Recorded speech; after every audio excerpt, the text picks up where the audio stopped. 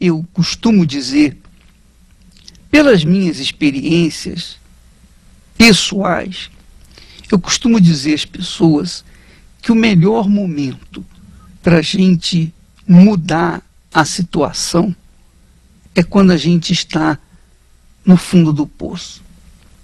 Exatamente essa situação que você talvez esteja, no fundo do poço.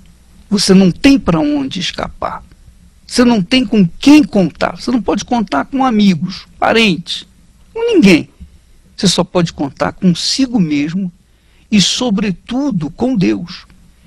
Porque, veja lá, você no fundo do poço, no fundo do fundo do poço, você só tem um, um lugar para olhar, que é para o alto. É ou não é? Então, você só pode olhar para o alto. E como que você vai sair dessa situação? Aí você vai encontrar a força para gritar. Porque no fundo do poço, na hora do sufoco, a gente tem que gritar por Deus. É ou não é? Não tem outra saída.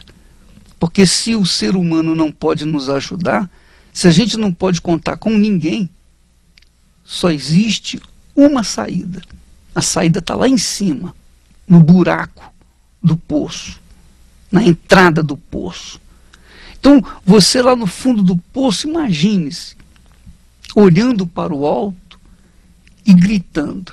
E digo mais: quanto mais fundo, quanto mais profundo é o poço, mais alto, mais força você vai impor ao seu grito. Não é verdade?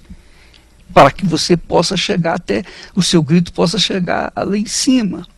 Então, é exatamente essa situação privilegiada que você se encontra. Privilegiada, é, é. Porque, meu amigo, minha amiga, deixe-me falar uma coisa francamente. O que tem de crente por aí, o que tem de crente aí fracassado, e o pior de tudo, não é fracassado, não, é acomodado. É acomodado essa é a realidade. Quando o sujeito crê em Deus e se acomoda, nada vai mudar na vida dele. Por quê?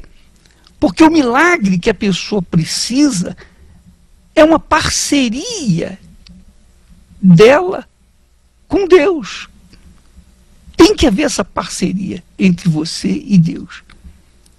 Então você está aí no fundo do poço, você não tem com quem ninguém, com ninguém a contar. Não é verdade? Então o que, que você faz? Você se liga com o Altíssimo através dessa fé que está aí dentro de você, essa força que está aí dentro de você.